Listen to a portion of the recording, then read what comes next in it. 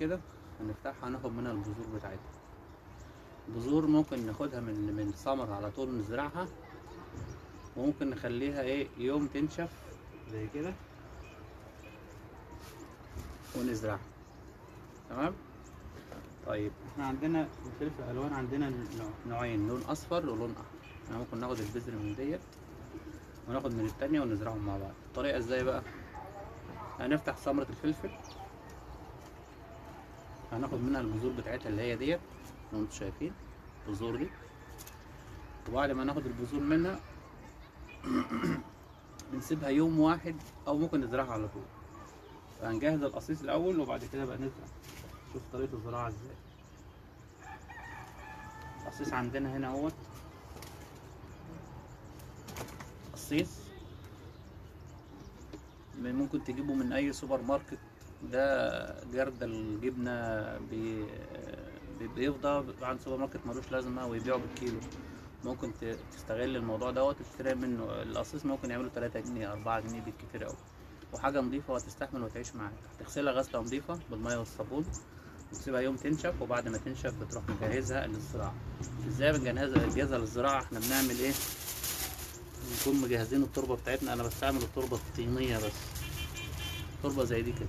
تربة طين. طيب قبل التربة الطين هنعمل فتحة الصرف في القصيص. إزاي؟ نجيب القصيص كده. الطريقة دي كده. ونعمل خرم هنا كده. يعني نخلي من تحت حوالي 3 سنتي ومن فوق نعمل إيه؟ الخرم.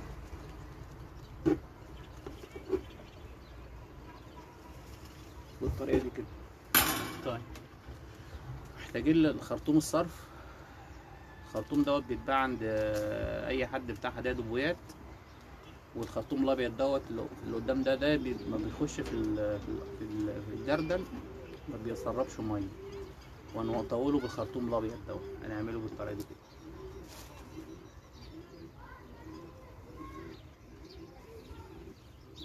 كده كده إحنا ركبنا فتحة الصرف في القصيص. مهم جدا فتحة الصرف إحنا ممكن نخليها لفوق كده بحيث إن هي إيه لو المية زيادة ممكن نروح منزلين القصيص لتحت كده فينزل المية بتاعته. مية كتير نتخلص منها بأسرع وقت. وممكن نعمل الفتحة نخليها فتحة كده والاتنين متوصلين ببعض. أنا عن نفسي بخلي اتنين لأن أنا عندي قصص كتير فأنت لو عندك قصيص واحد بتعمله بالطريقة دي كده. رويت والحطيت المية كتير بعد بعد ساعتين بعد ثلاثة بعد خمسة بتروح منزل الخرطوم لتحت بالطريقة دي كده. هيروح منزل المية. فجهزنا القصيص للزراعة. هنعمل إيه بقى؟ هنبدأ نملاه تربة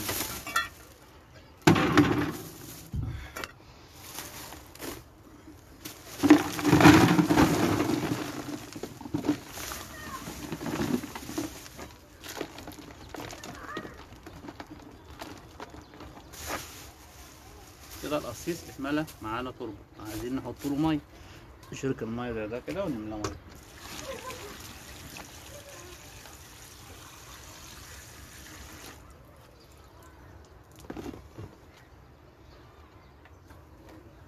ونعمل فتحة لفوق لل للقصيص. عشان المية تطلع من تنزل من فوق تنزل على تحت. ونركب فيها كده. عشان المية ما تنزلش منه. هو الطريقة إزاي؟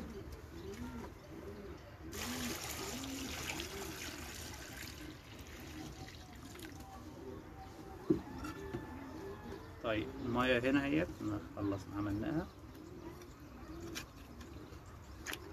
جهزنا القصيص. ممكن نحط له كمان شوية تربة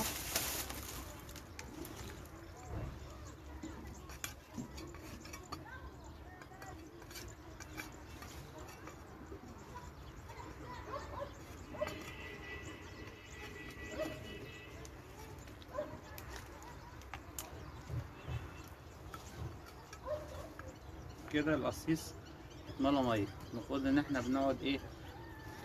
نقعد على الأقل خالص نسيبه ساعتين على ما الميه اللي فيه تنزل.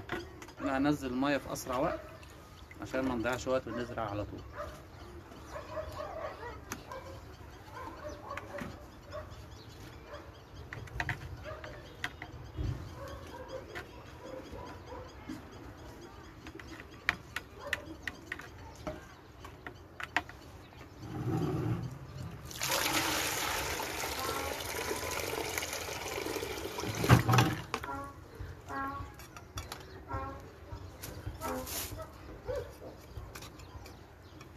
المفروض التربة تبوش مننا. ما يكونش فيها مية بزيادة.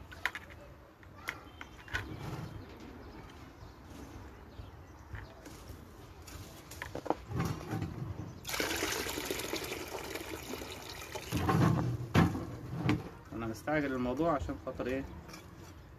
تعرفوا الزراعة إزاي. طيب جهزنا التربة وجهزناها لل اللهم صل على النبي للزراعة. عندنا الفلفل الالوان أهو. شايفين بالطريقة دي كده. دي بذور الفلفل الالوان أنا سبتها يوم واحد بس في, الهواء تنشف. دي بذور الفلفل الالوان طب نعملها إزاي؟ كده على سطح القصيص وننصرها بالطريقة دي نبدرها على سطح القصيص بالطريقة دي. إحنا في الشتاء ممكن ال- البذور تقعد عشرة خمستاشر يوم على ما تنبت. لأن ال- ال- ال- ال- الفلفل نبات صيفي بيحب الحرارة. فاحنا بن- بنزرع دلوقتي النهاردة المفروض في شهر اتنين تقريبا خمسة اتنين أو ستة اتنين عشرين عشرين. فلسه برضو الجو برد. فبعد ما نخلص زراعة الفلفل الألوان بنسيبه 15 يوم ونخليه في الشمس. ما عندناش شمس بنحطه في إيه؟ نغطي القصيص بكيس. كيس يكون شفاف كيس يكون أبيض. كده زرعنا اهو أنتوا شايفين؟ بذور مزروعة اهي زرعت. كل اللي هنعمله بعد كده هنغطيها بطبقة بسيطة من التربة. طبقة خفيفة خالص من التربة. عشان تتفاعل مع بعضها وتبدا البذور زي ما بيقولوا إيه بالفلاحي تشتغل.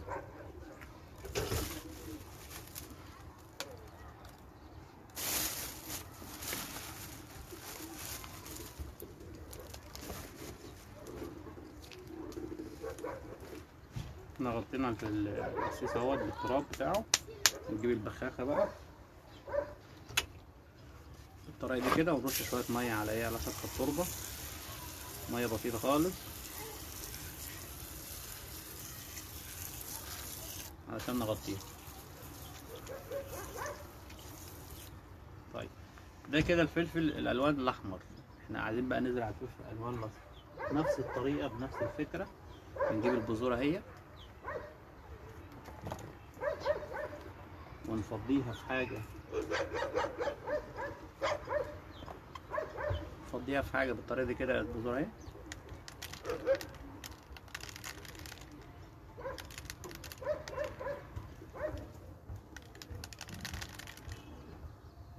ال- الشتلة ال- ال- أرض الفلفل أو ثمرة الفلفل ممكن تعمل لك من مية لمية وخمسين عود. فأنت عندي فكرة ممكن إنك تزرع عندك. وأي حد من قرايبك أي حد من حبايبك ممكن توزع عليه شتلات فلفل هيبقى فرحان بيها جدا. لأن أنت مش محتاج كل الكمية دي أنت كل اللي محتاجه مثلا شجرتين تلاتة أربعة بالكتير قوي عشان إيه يعملوا معاك. الفلفل الألوان بيقعد مية وعشرين يوم على ما تبدأ الثمرة تاخد منها ثمرة لون.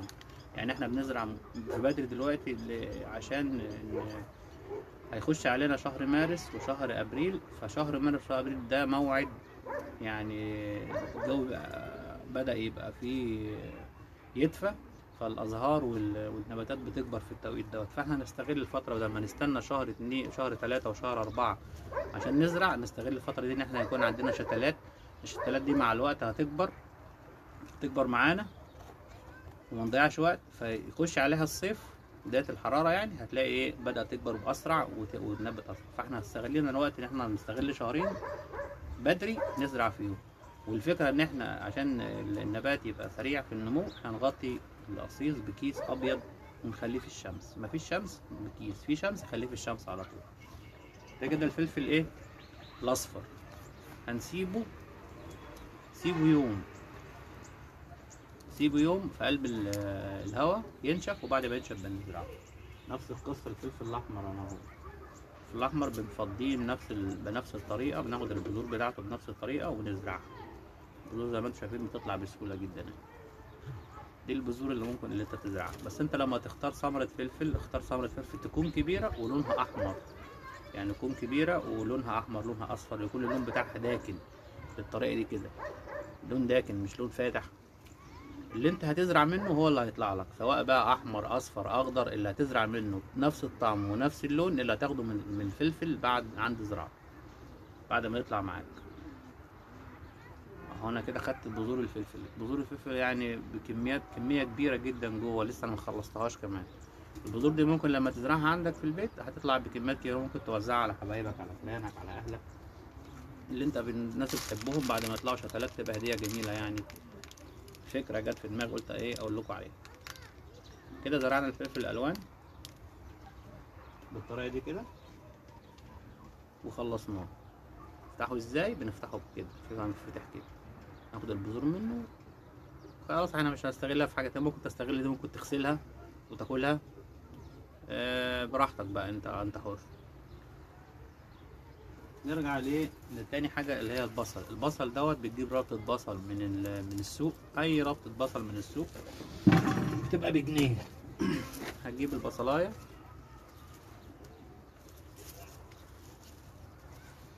تلاقيها مربوطة بالطريقة دي كده هتطلعها من الرباط بتاعها. الربطة دي بجنيه. ممكن تلاقي أصغر من دوت يعني لو أصغر يبقى أفضل وأحسن ليك. هتعمل إيه؟ هتروح جايب بالطريقة دي كده. وقاطع كده. فالبصل عندي بالطريقة دي كده. هعمل إيه؟ هشوف قصيص. أي قصيص يكون جاهز عندي.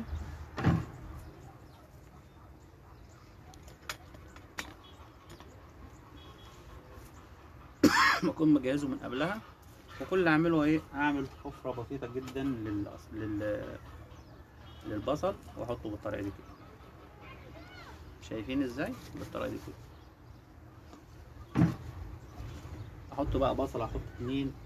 واوزع بين أحط بين البصل آه، فرض شرط يكون بين البصل وبعض على الأقل خالص عشرة سنتي خمستاشر سنتي خمسة سنتي عشان البصل بيكبر الجدر بتاعه بيكبر. خلصت زراعة من البصل. يعني القصيص أنا بخش على كل ركن أحط فيه بصلاية بالطريقة دي كده. تكون التربة مروية قبلها بيوم على الأقل. وتكون طريه كده البصل اتزرع أربع بصلات. بعد ما اخلص بروح أرش عليه بشوية مية.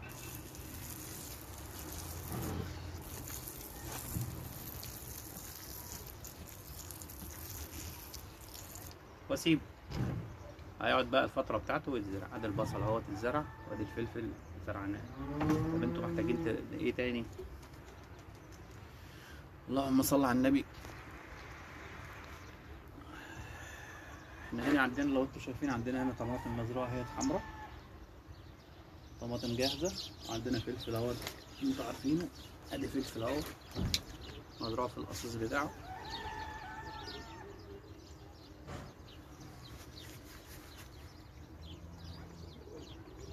تمام؟ فلفل حاجة جميلة. والنعناع اللي زرعناه من ربطة نعناع أهو. طالع أهو. الزراعة حاجة سهلة جدا بس أنت تكون عندك صبر لأن الزراعة بتحب الصبر. زي ما أنتوا شايفين إحنا عندنا الحديقة بتاعتها هي مزروع فيها كل حاجة ممكن تتخيلها.